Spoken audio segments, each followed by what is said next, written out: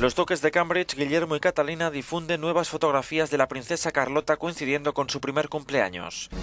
Las imágenes fueron tomadas por la duquesa en abril, en la casa de día de campo de la familia. Carlota es la segunda hija de la pareja real británica tras el príncipe Jorge, de dos años y medio.